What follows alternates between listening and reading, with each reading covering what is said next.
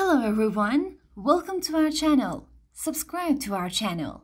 An old man was preparing to board a plane when he heard that the Pope was in the same flight. This is exciting, thought the old man. I've always been a big fan of the Pope. Perhaps I'll be able to see him in person.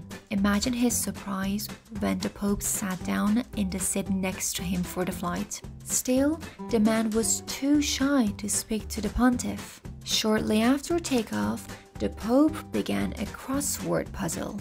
This is fantastic, thought the old man. I'm really good at crosswords.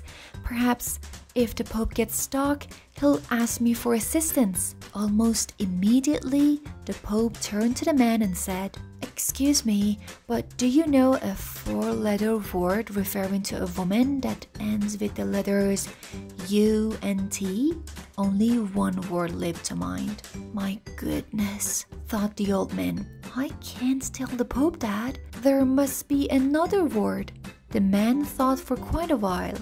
Then it hit him. Turning to the Pope, the gentleman said, I think the word you're looking for is end.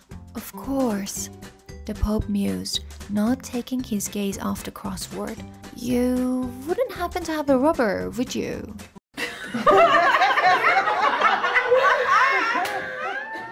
Hope you've enjoyed this joke. Subscribe to watch more videos.